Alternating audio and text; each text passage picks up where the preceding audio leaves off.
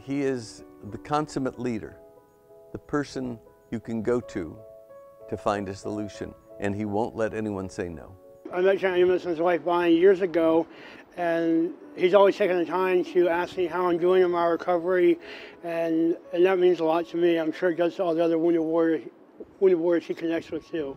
General Amos's contribution to post-traumatic stress and um, traumatic brain injury has been absolutely instrumental.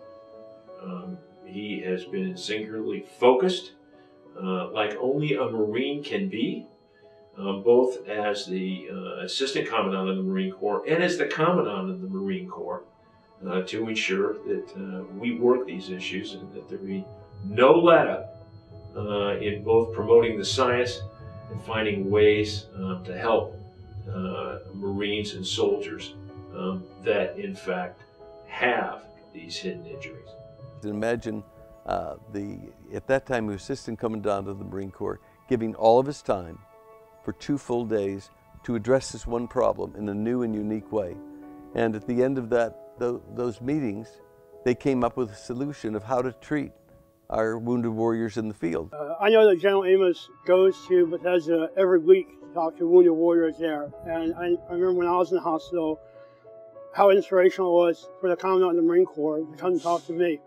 And nowhere in the private sector would you have the CEO of a 200,000 employee corporation come and talk to the worker bees.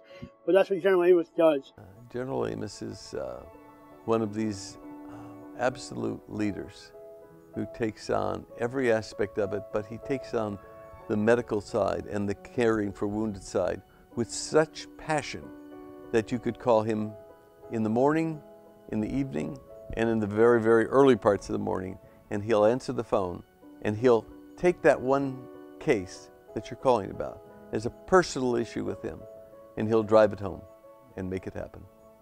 He's a natural born leader. He's a man who commands your respect and friendship, and those are unique, special qualities. I think General Amos uh, really missed his calling. Uh, there's no doubt in my mind um, that somehow he got sidetracked uh, when he decided to, to fly for the Marine Corps uh, and he should have uh, been a soldier. I think deep down inside, that's what he was really trying to say to you uh, when he said, I'd be a good Marine. He just wishes he'd been a soldier.